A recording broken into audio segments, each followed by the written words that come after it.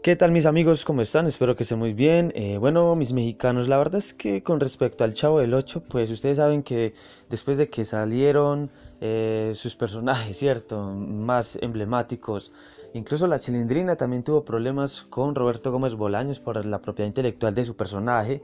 Kiko también, incluso le tocó quitarse la Q por la K y fundan en Venezuela junto a Ramón Valdés en su momento a Que Kiko. Y eh, después de todo eso, el Chavo del 8 empezó una decadencia, pero no dejaba de, recordarnos varios capítulos ya hechos años pasados.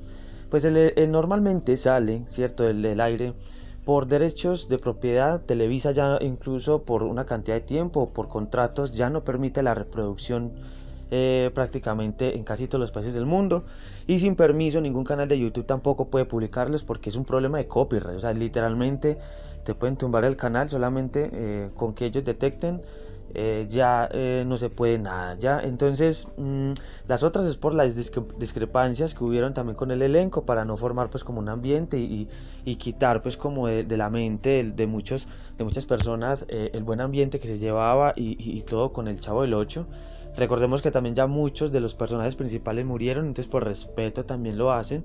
Así que eh, si les gustan mis amigos estos temas y otros sobre México, suscríbanse, denle like, comenten y hasta la próxima.